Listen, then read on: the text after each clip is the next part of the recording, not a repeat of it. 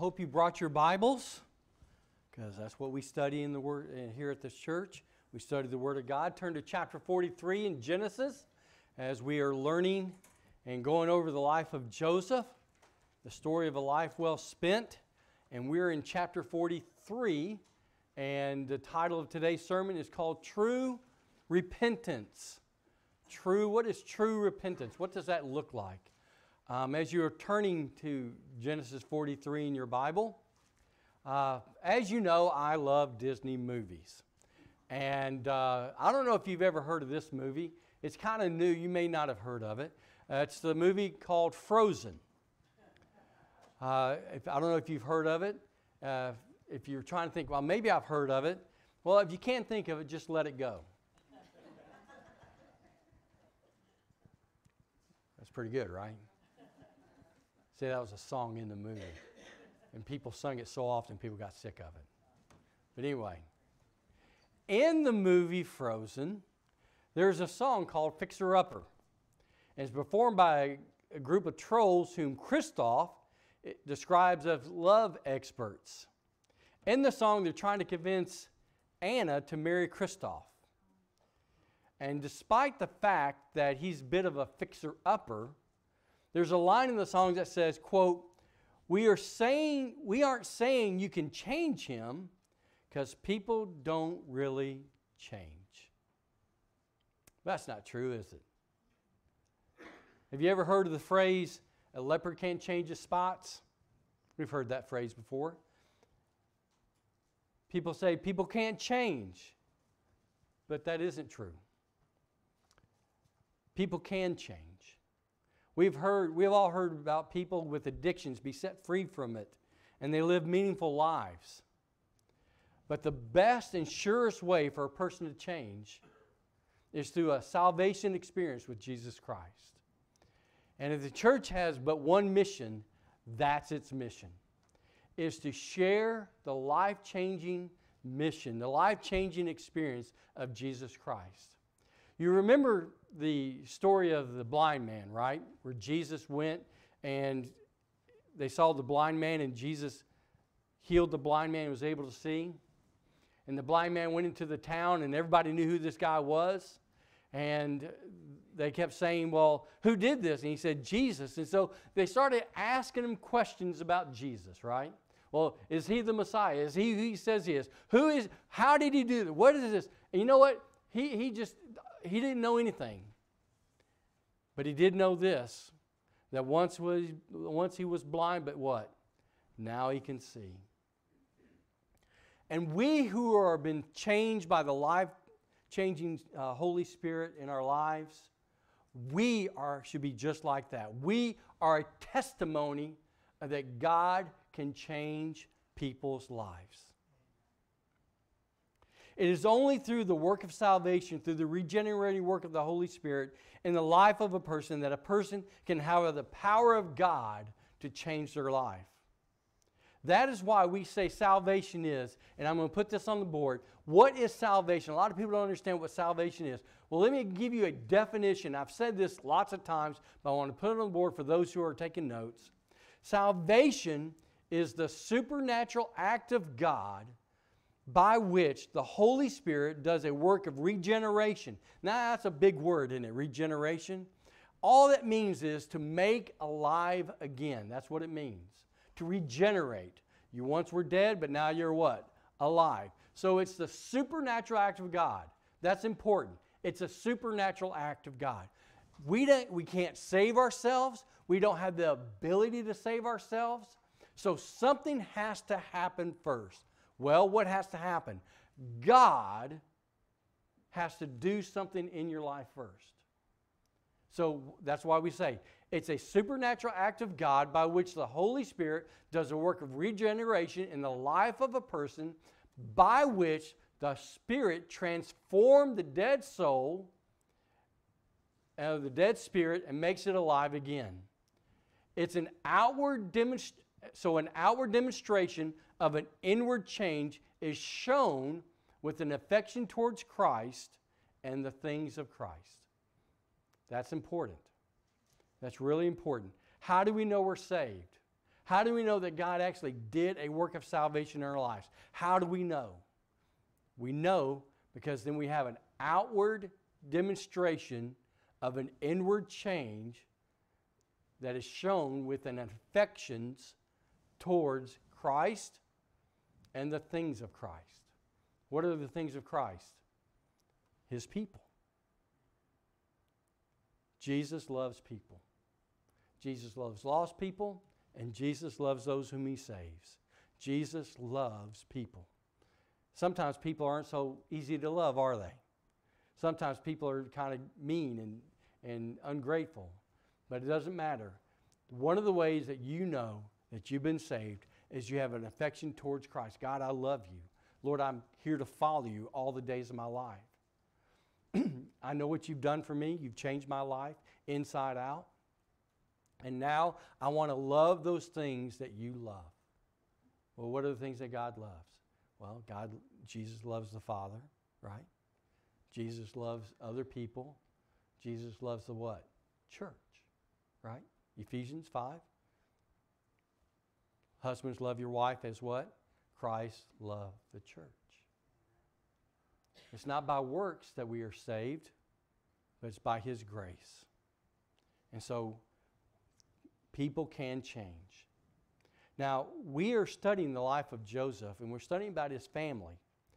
And as we've studied life of Joseph these past weeks, if there was ever a family in need of change, it is the sons of Jacob. The oldest Reuben slept with his father's wife. Simon and Levi, the second and third sons, murdered all of the men in the nearby city of Shechem. Ten of them agreed to beat up and throw Joseph in a pit, and they had a very real discussion about killing their brother Joseph. These are bad guys. But the fourth son, the fourth son, Judah, he was the worst of them all. And it's, it's he that I want to focus on in Genesis chapter 43. Before chapter 43, you can make a very strong case that Judah was the most horrible, self absorbed person you have ever met. Now, in a moment, we're going to go over all the sins of Judah, and it's going to sound like I'm piling on. But I'm going to labor this point, if you'll just stick with me, I'm going to labor this point because I want you to see what God can do to a person. Okay? All right. So let's get a quick reminder of what we know about Judah before chapter 43. In Genesis 37 26, Judah is the one who talks his brother out of killing Joseph and selling him, in, selling him as a slave instead. You go, well, see, he's not so bad. He's not so, hey, wait a minute, Pastor Daniel. That's a good thing. He talked him out of killing them. Yeah, but selling them into slavery, that's not good. See, that's, that's how warped we are. How many of y'all thought hey, wait a minute, he's not so bad. He kept them from killing them, but they still sold him into slavery. How many of y'all thought, come on now? Some of y'all thought, see, he's not so bad. That's still pretty bad. Uh, he was his brother. So he gets no credit for that. Genesis 37, 31 through 35. Judah was a part of the lie that broke his father's heart. They told him Joseph was dead, and, jo- and Jacob entered, and extend- entered an extended time of mourning. How about that? Not enough that you sold your brothers, but you sat there and lied to your dad, and you saw the grief of your dad's heart. And you were so callous that you didn't even go, you know what? Okay, dad, I'm sorry. I see how much that hurt you. I'm going to confess this is what we did. Nope. They lied and they kept the lie up. Genesis 38 1 Judah sought a wife and he married an unbeliever. Now you say, well, why is that such a bad thing? Well, he married an unbeliever and she was a Canaanite, and God specifically told them not to do that. Don't marry this group of people. Why? Because bad company corrupts good morals. And so, but what did Judah say? I don't care what you say, God. I know I've been raised to, to worship and serve you, but I'm going to do my thing my way, and I'm going to do it. And so I'm going to marry. In fact, God, I'm going to marry a group of people that you specifically told me not to marry. That's how hard of heart he was. So what happens? Genesis 38, 7 through 10. He raised his two sons, Ur and Onan, and they were so evil that God killed them both. Now, I don't know, we don't know what evil things they did, but think about all the evil people that you've seen in the world and you know in the world, and God has lived them, allowed them to live a, a life. But these people were so evil that God killed them personally. That's pretty bad, isn't it? And that's what Judah did. Judah in Genesis 38 12 through 16, Judah was a man controlled by fleshly lust. His wife died, and he sought female companionship in the bed of a woman he thought was a harlot. Genesis 38 12 through 23. Judah was guilty of committing incest with his sister in law Tamar, and she, and she tricked him, but he's still responsible for his actions. Genesis 38 24 through 30. Judah was, Judah was judgmental. Tamar, his daughter in law, became pregnant through their incestuous relationship, and Judah ordered her to be burned for her infidelity, even though it was him that did it. And when she, when she exposed him for the hypocrite that, she wa- that he was, he realized how bad he had fallen. So, what do we know? He thought of a plan to sell Joseph into slavery. He married a non believer, had two sons so evil that God killed him, solicited a prostitute. He was a failure as a son. He was a failure as a husband. He was a failure as a father. And he is a self absorbed hypocrite. This is not a good guy. And you're saying, man, Pastor Daniel, you are killing this guy. No, I'm just showing you who he was because I'm about to show you who He is. And that can only happen through the transforming life of God. And I want you to know I don't know where you are in your world today, I don't know where you are in your walk today, I don't know who you know. But there may be somebody who thinks that they're so sinful that they can't possibly be forgiven by God. There may be somebody in your life that they think, you know, I've done all these evil things. Man, I've done some evil things. And I know I've, I've had, I've had conversation with people and they say, Pastor Daniel, you don't know what I've done. I said, yep, I sure don't. And I don't need to know. But I want you to know this. We serve a God. Are you still with me, church? We serve a God. This is so great. We serve a God that has more grace than you have sin. There is, there is not a single person who has ever lived, who lives now, or who will live, who is so sinful they exceeds God's grace. And there's not anybody who's ever lived, who are living, or who's ever lived, before, who's going to live, who's so good that they don't need God's grace. All men everywhere, and when I say men, I mean people, all people everywhere are sinners and all people everywhere desperately needs God's grace. Amen? Amen. And we who have experienced God's grace should be the most celebratory people on the face of the earth because we have been set free from the wrath of God by His grace. Isn't that wonderful? Yes, the Bible says that Jesus Christ is the lion of the tribe of Judah. How evil was was Judah is pretty doggone evil. Can I say that? I don't know if, it, I don't know if it's really proper for a pastor to say doggone, but I do say that. But he was pretty bad dude, right? But listen to this. The Bible says that Jesus Christ is the lion of the tribe of Judah. Judah's name and the rest of his brothers will be on the foundation stone of New Jerusalem. Judah's name is honored because through his lineage came the Messiah, the author and the finisher of our faith. You see, where a lot of people see evilness, God sees His grace in the lives of people. And God works. God is, we serve a God who fixes broken things. This world is absolutely broken. People who follow the world's suggestions to do to live all they want, to live as if there is no God, to you know, eat, drink, and be merry for, for tomorrow you die. I met a guy who said, you know, I'm not afraid of dying. I'm willing to die right here, right now. I don't care. And I said, Well, you must not believe in a God. Because you wouldn't say that if you really knew who God is and what he, what he thought of your sin. He said, I don't care. I want to die. Well, okay.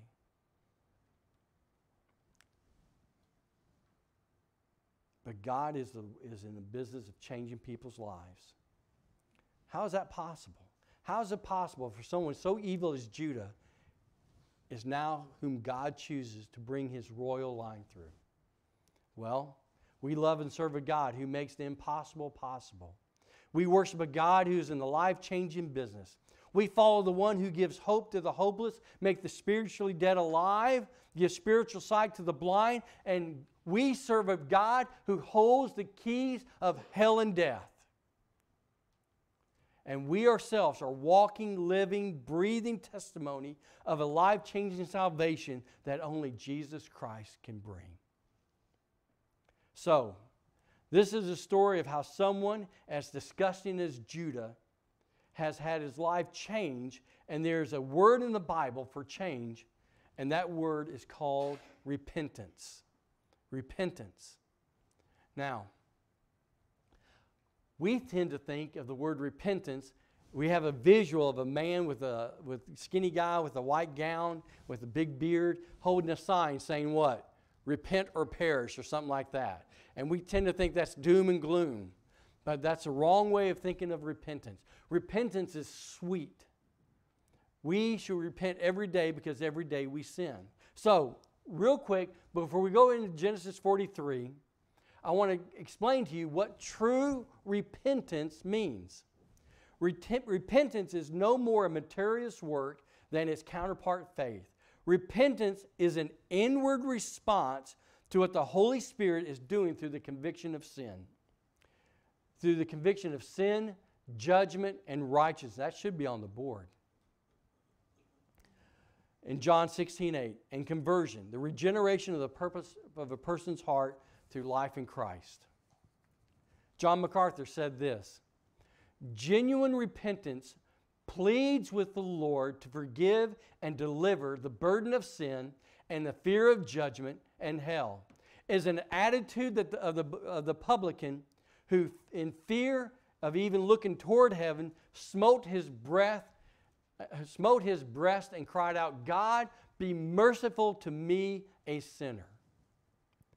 Jesus says, "Unless you repent, you will likewise perish." So repentance is very important in the life of a church.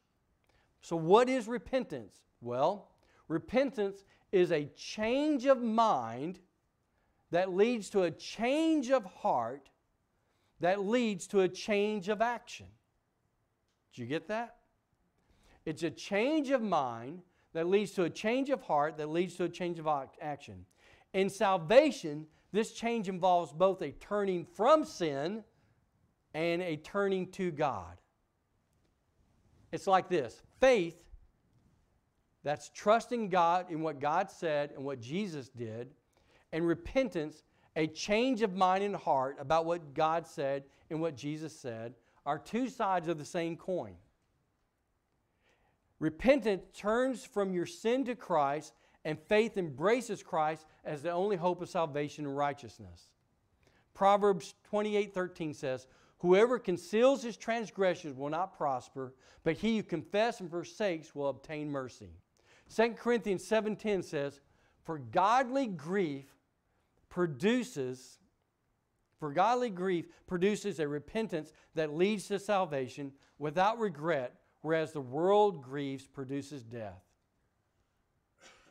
The reason why men, Christians, are still troubled, are still seeking, still making little forward progress in their Christian life is because they haven't yet come to the end of themselves and they're still trying to give orders and inferring with God's work with the, within us. That's A.W. Tozer. Now, how important is repentance? Are you still with me? Okay. What, what is it? This is important. Without repentance, you can't get saved. Without repentance, you can't please God. And repentance, let me tell you what repentance is not. Repentance is not saying, God, I'm sorry. That's not repentance. So what is so how important is repentance? Well, I got to speak fast because I told you all I wouldn't preach for an hour. So we got to get going. Are you ready? You got to do a better job of listening faster. All right, here we go. But this is so important. Repentance is what? Matthew 3 12. Repent, for the kingdom of heaven is at hand. Matthew 4 17. From that time, Jesus began to preach, saying, Repent, for the kingdom of heaven is at hand. Matthew 11 20. Then Jesus, he began to denounce the cities where most of his mighty works had been done because they did not what? Repent. Mark 1 15 and saying, The time is fulfilled and the kingdom of God is at hand. Repent and believe in the gospel. Mark 6 12. So they went out and proclaimed the people should what? Repent. So what were they preaching? To repent. To repent. Luke 13, 5 through, uh, 3 through 5. No, I tell you, but unless you repent, you will all likewise perish. Or those 18 of whom the Tower of Siloam fell and killed them, do you think that they were worse offenders than all those who live in Jerusalem? No, I tell you, unless you repent, you will likewise perish. So, what Jesus is talking about, he says, you need to what? Say it, church. Repent. But we don't preach repentance anymore. We don't. And I think we kind of watered down the gospel a little bit. Luke 15 10. Just so I tell you, there's joy before the angels of God over one sinner who what? Repents. Luke 24 7. And that repentance for the forgiveness of sin should be proclaimed in his name to all nations, beginning with Jerusalem. So that's Jesus talking about repentance. Real quick in the book of Acts. What's the Acts? The book of Acts is the history of the church. It's the beginning of the church. And so their message to the people is very important, isn't it? Because they've been taught by Jesus directly, and now they're going to teach what they've been taught. So what did they teach? Acts 2:38. And Peter said to them, Repent and be baptized, every one of you, in the name of Jesus Christ for the forgiveness of your sins, and you will receive the gift of the Holy Spirit. So the first thing he did was, he didn't go, Look, God will meet you in the. Pr-. No, he didn't do it. He goes, repent. Repent. In a moment, we're going to talk, talk about what it means. Acts 3:19.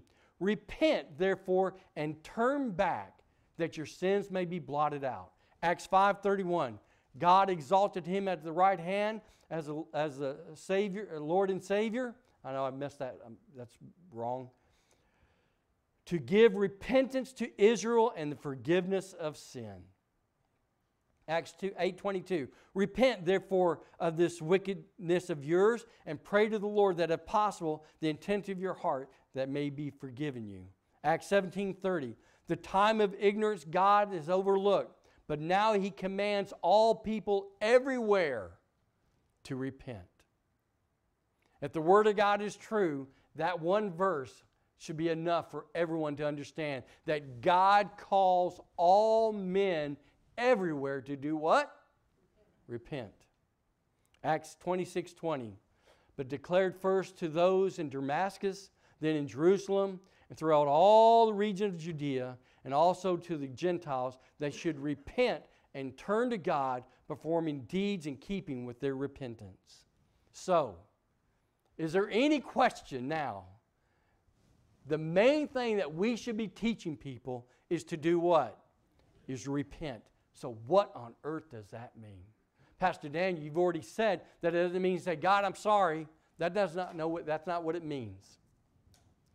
The Greek word metanoia means this it means to change your mind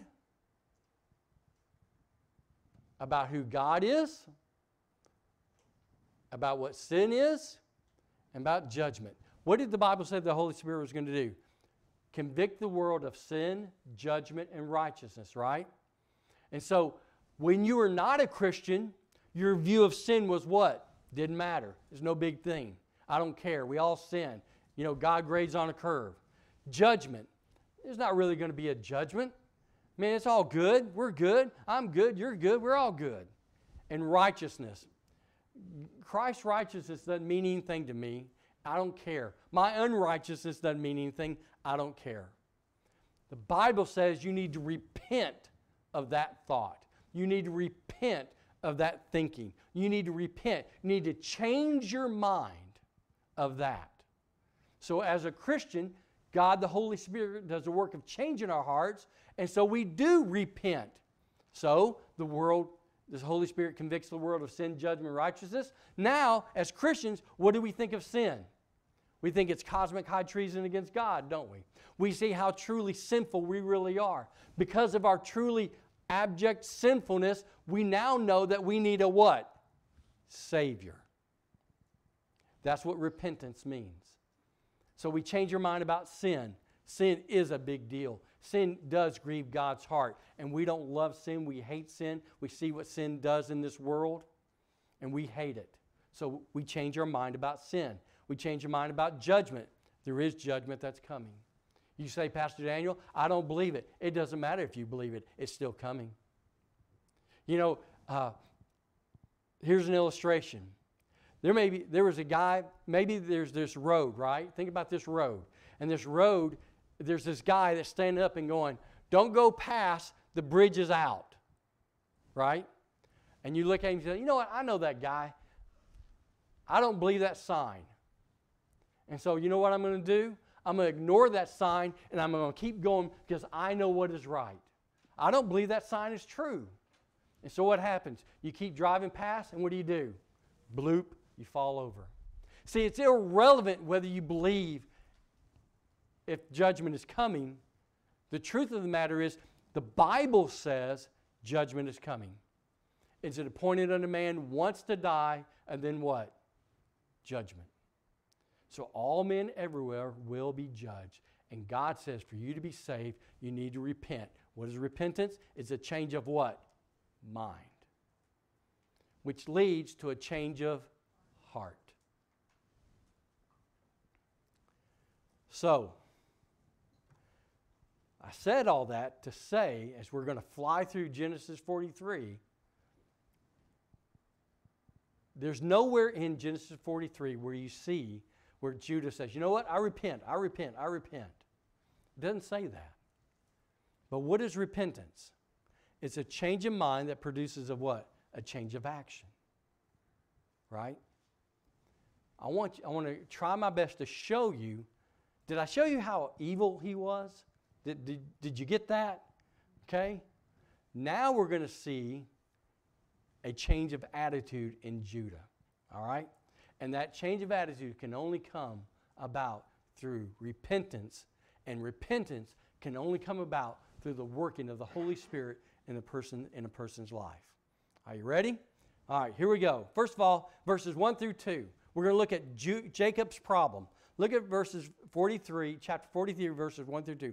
And now the famine was severe in the land, and when they had eaten the grain they had brought up from Egypt, their father said to them, Go again, buy us a little food. So where's the, where are we at?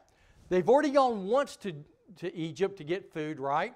And then Joseph messed with them a little bit because now he's the second in command. For those that don't know the story, Joseph, who was their brother, was sold into slavery, spent time in prison, out of prison. Now he's second in command of all of Egypt, and he's the one that anybody wants food, they have to go to him. So Joseph went from the pit to prison to the what? To the palace. And that's what God does in the life of people because He's setting people up to bring other people to Himself. So now they've already went to Joseph once. Joseph gave him all this food, but he kept one person, didn't he? He kept, he kept one of the brothers because he wanted them to come back with Benjamin and all that. We're going to see that in a minute. So now we're at 43 the famine's still going on because it's going to last for seven years, and now they need more food. So we see Jacob's problem. 2, verses 13 through 3 through 15, we see Judah's promise. We see Judah's promise. Judah's promise, not Judas, Judah's promise. Number verse 3, we see the shortage that demands the promise. Look at verse 3. As I'm trying to find verse 3. Okay. But Judah said to him, The man solemnly warned us, saying, You shall not see my face unless your brother is with us. So we see the shortage that demands the promise.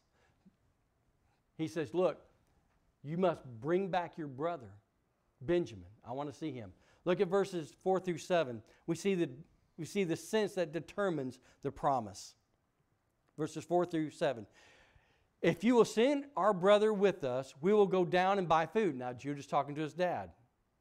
But if you will not send him, we will not go down. For this man said to us, You shall not see my face unless your brother is with you. Israel said, Why did you treat me so badly as to tell the man that you had another brother?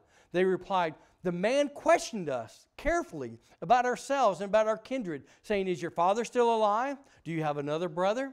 What we told them was in answer to these questions, could we in any way know that he would say, Bring your brother down?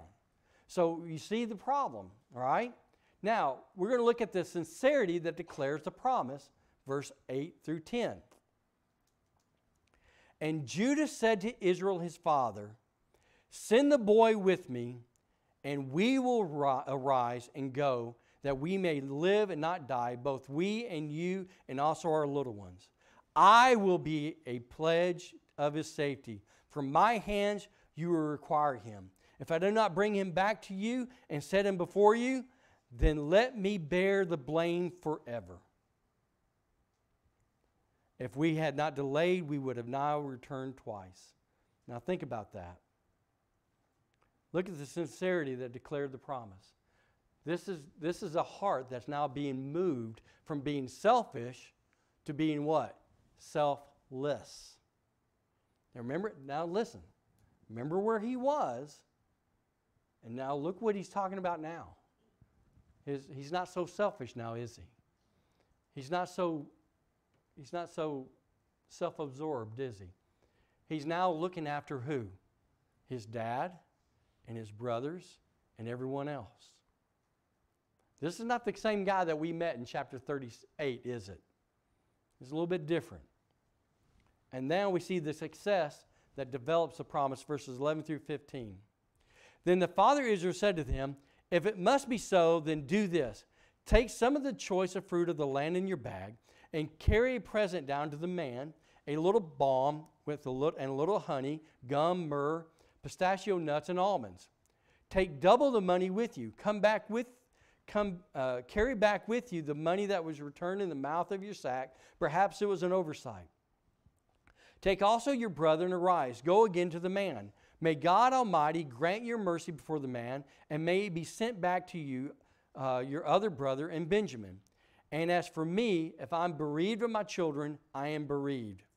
So the men took this present, and they took double the money with them and Benjamin. And they rose and went down to the Egypt and stood before Joseph. Now, here we go. Here's the main point of the sermon. We're going to look at Joseph's plan. Joseph's plan, 16 through 34. God's purpose for the second trip. Are you ready, church? God's trip, God's purpose for the second trip would be to continue to break down the brothers' heart's heart and bring them to a place of humility before God. Man looks on the outside, but God looks on the heart. The Bible says in Psalms 51 17, the sacrifices before God is a broken spirit, a broken and contrite heart, who you will not despise. So get this. Are you ready? So before God can use someone greatly, he has to break them down completely. And we see that God is doing that to Joseph's 10 brothers. Why? Because God wants to use his 10 brothers to bring Israel out of the land of Canaan, which they are being corrupted, into the land of Egypt so they can be preserved, so the royal line of Christ will be preserved, so that Christ can be born, so that Christ can die on the cross, so that we who are sinners may be saved by his wonderful grace. Isn't that wonderful?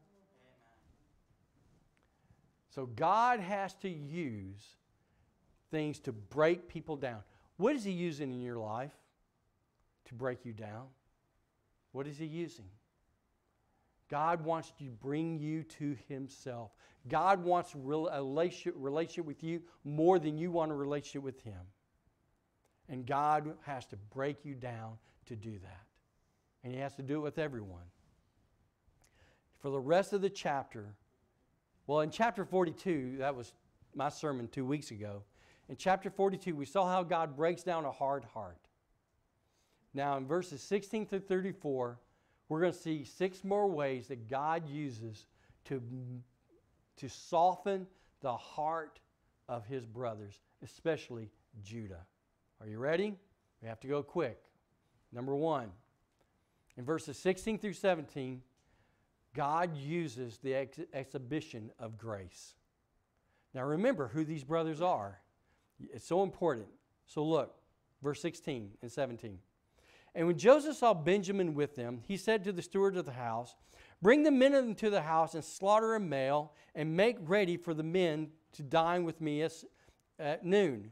Then the, the man did as Joseph told and brought the men to Joseph's house. Well, how does God do that? Through the exhibition of grace. Sometimes God will use the exhibition of grace to bring people back to Himself. We're saying, how do you get that from there? Think about this. Did Joseph did Joseph have to give these guys a big dinner? Did Joseph Now remember, who were these guys? Right? Did Joseph have to do that? Did Joseph have to bring them and feed them and give them a great monster dinner? Nope. What was that? What did they deserve? His judgment. What did they get? His grace.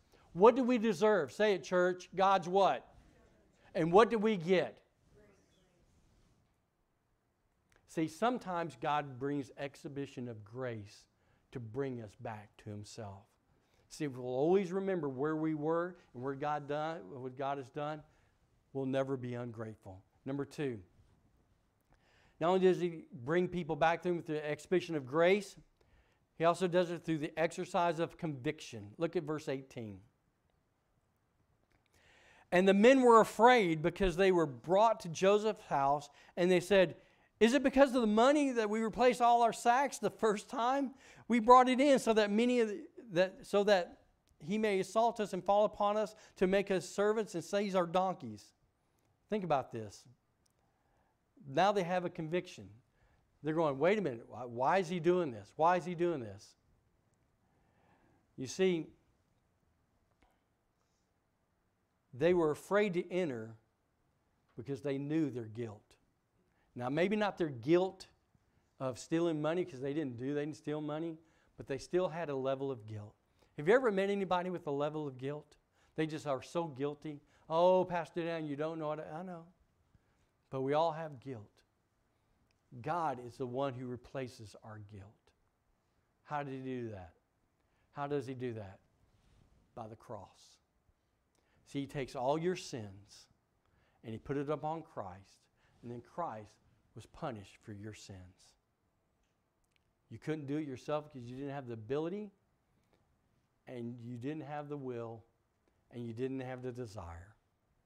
But God, in spite of you, saved you. So, how does God bring us to Himself? Through the exhibition of grace, through the exercise of conviction. We don't like conviction very often, but man, conviction's a strong thing that God uses in our lives. Oh, Pastor Daniel, I'm, one time, here we go. You still with me, church? This is, I got to go quick. You got to listen quick, but this is great. A person came to me once and said, Oh, Pastor Daniel, I hate it when I listen to your sermon sometimes. I'm going, Well, I appreciate you telling me that. That's always good to know. And they said, Well, no, no, I mean, you, you're a good preacher and all. I said, Well, thank you. But, they, but man, sometimes I feel guilty. I said, Well, I'm going to take a shot here.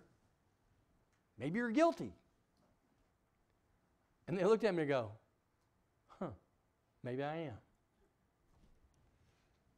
See, guilt is not a bad thing. Understanding that we are guilty before a holy God, what does that do? That opens up a floodgate of God's grace in your life.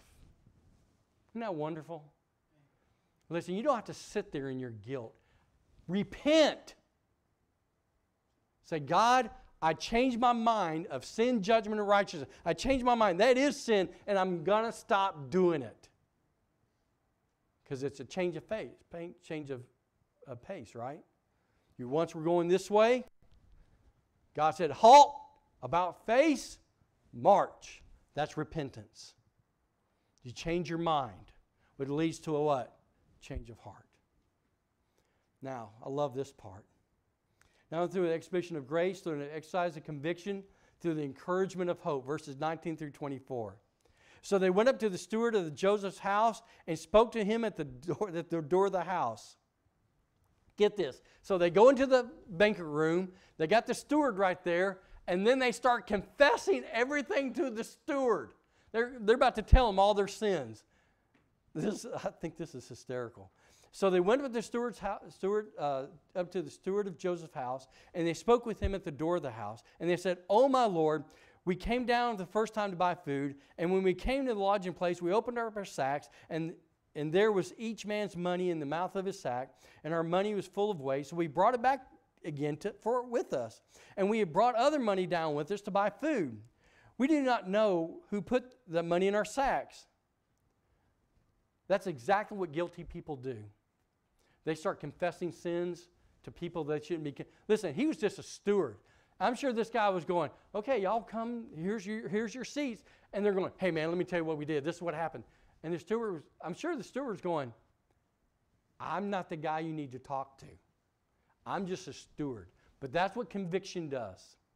Convictions, they, they, conviction, when you're guilty of something, you start confessing the things that you, that you shouldn't be confessing to, to people you shouldn't be confessing to. Our confession to be not to one another, but to who? God. But what did the steward do? He gave them encouragement of hope. Did you see that?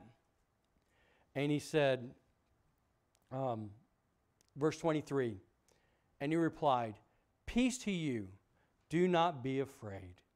Your God and the God of your father has put treasures in your sack for you.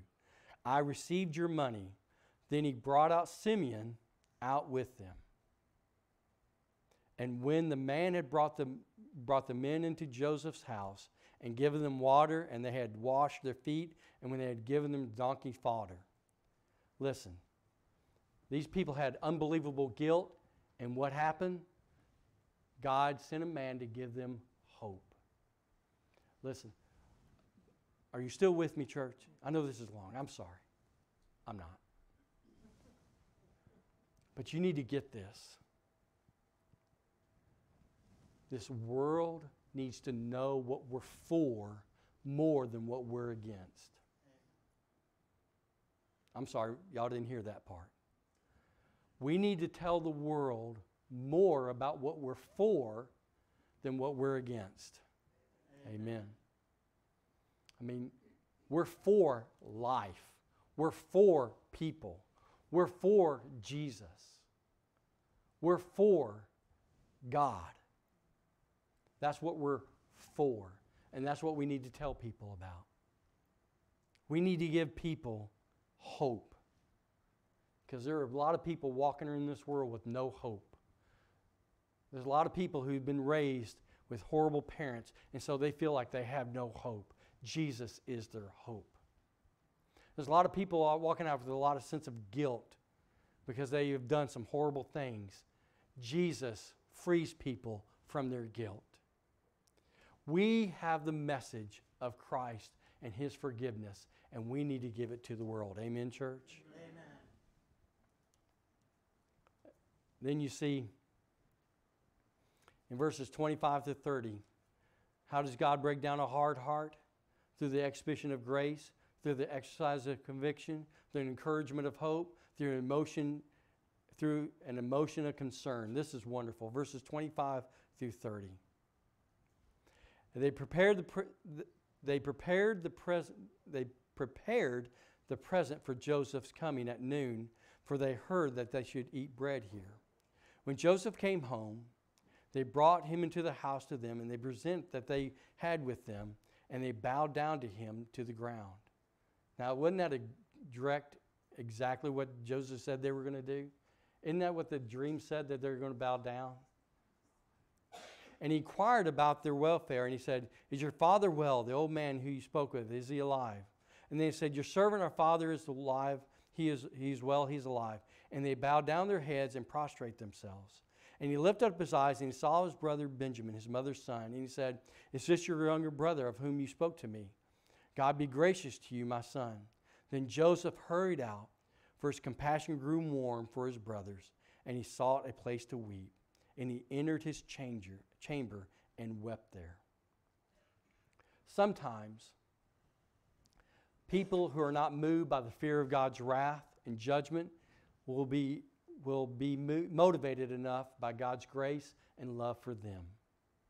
If the holiness of God isn't enough to convict people of their sin, judgment, and righteousness, then the thought of Jesus bearing the brunt of God's wrath for their sins will bring them to Christ. Here we see Joseph who had every right to be angry at his brothers. And when he saw all the brothers together, especially Benjamin, what did he do? He was so overwhelmed with emotion and his love for his brothers that he wept. We should have a, a, a, a ability to weep for those who God loves. Then we see that through the evidence of knowledge, verses, verses 31 through 33. Then he washed his face and came out, and controlling himself, he said, "Serve the food." They served him by himself and by and them uh, and them by themselves, and the Egyptians who ate with uh, them who ate with them by themselves, because the Egyptians could not eat with the Hebrews, for it is abomination of the Egyptians. And they sat before him, the first according to the birthright, and the youngest according to youth. And the men looked at one another in amazement. You say, well, listen, Joseph knew who they were. And so what did he do? He had them sit all, and they were going, How do you know that? How do you know I'm the oldest? How do you know he was the youngest? Sometimes God brings us to himself because we realize he knows everything about us. Now, how many y'all would say, man, there's some things about me. If you knew who I, if you knew I thought these things or I did these things, you wouldn't like me. How many y'all would be that way, right? A lot of people. Check this out. Are you still with me?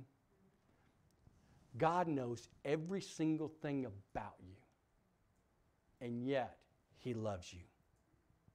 Isn't that great? He loves you so much that He brought you here to this point, at this time, at this place to hear this message because you need to hear it. I don't know why you need to hear it. I don't know who needs to hear it, but you need to hear it. No matter what you've done in your life, you've never done anything so evil that God would say, I'm done with you. God says, No, I love you and I want to bring you to myself. How does God break down hard hearts? Through the evidence of knowledge. God knows who you are. And then lastly, through the examination of the heart. Look at verse 34. Portions were taken to them from Joseph's table, but Benjamin's portion was five times as much as any of theirs. And they drank and they were merry with him. You're saying, now, Pastor Daniel, how in the world did you get anything out of that? Well, think about it. Through the examination of their hearts. Why did Joseph give Benjamin, the favored son from the favored wife of their dad, more food? Who was Joseph? in chapter 37. He was the favored son of the favored wife of their father. And what did they do to the favored son of the favored wife of their, of their dad? They beat him up and sold him into prison, sold him into slavery. So Joseph was going to test their hearts and see if they truly have what? Repented. The whole sermon comes down to this how do you know, Pastor Daniel, that they repented? How do you know? How do you know that repentance came to them? Look at that last line. And they drank and were what? Was there any sense of jealousy? What were they before in chapter 37? They were jealous. What are they now? Happy. Hey, they didn't go, uh, excuse me, uh, second in command of all of Egypt, you gave him five times more than you gave us. That's not fair. The same of us is true in our lives today. For those of us who are really Christians, those of us who really follow God, we don't sweat what other people got. We're thankful for what we have. We're thankful when Jesus, people come to Christ. We're thankful and happy when people give their life to Christ. We're happy when other people do well. Why? Because we've repented of our selfishness and we accept Christ's graciousness. That's repentance, church. That's repentance. Have you repented? Have you? Have you had a change of heart about sin, judgment, righteousness? Now, did you notice nowhere in that did I say you have to do this, you have to do that, you have to. Listen, it's repentance. It's a change of heart, that, a change of mind that produces what? Where's your heart? Do you love God with all your heart, with all your soul, with all your might? Have you ever come to the end of yourself when you realize that you were lost and because of your lostness, because of your sinfulness, that you deserve God's judgment? And you gave your life to Christ because of it? You said, God, I want to change my sinfulness for God's righteousness, and I will follow you all the days of my life. Isn't that exactly how I tell people how to become a Christian? Ask God to forgive you of all your sinfulness, accept God's righteousness, and say, God, I will do what? Follow you all the days of my life. Because you did what? You changed your mind about what? Sin, judgment, and what? Righteousness. You repented. It's not saying, God, I'm sorry. It says, God, I changed my mind. It's a change of mind. And if you have a change of mind, it has a change of what? Have you done that? Have you given your life to Christ? Have you repented? With every head bowed and every eye closed, and every heart speaking to God. Right where you are, whether you're a visitor, you're a member, it doesn't matter. Have you repented? God, I've changed my mind. God, and we know only the Holy Spirit can do that work of change. But have you changed your mind? Have you given your life to Christ? Truly forgave your life to Christ? We're going to give you an opportunity to do that right here, right now. If you've never given your life to Christ, I want you to know that God wants you to do that right here. Today is the day of salvation, the Bible says. Would you give your life to Christ right here, right now? Our sovereign God, we ask you now that the Holy Spirit do a work of change in people's lives right here, right now. Lord, I pray there's someone here that's never given their life to Christ, that they'll change their view of sin, judgment, and righteousness. They really see how sin is really is an affront towards you, that there really is judgment coming. And God, we need your righteousness. God, would you please, God, change people's lives right here, right now. And we'll be careful to give you all the praise and the glory and the honor. Lord, we love you because you first loved us. In Jesus' name, amen. No matter who you are, if you made it, if you want to give your life to Christ, you can right here, right now. We're going to have a hymn of invitation, page 275. I surrender all. What a great way to do that. Would you all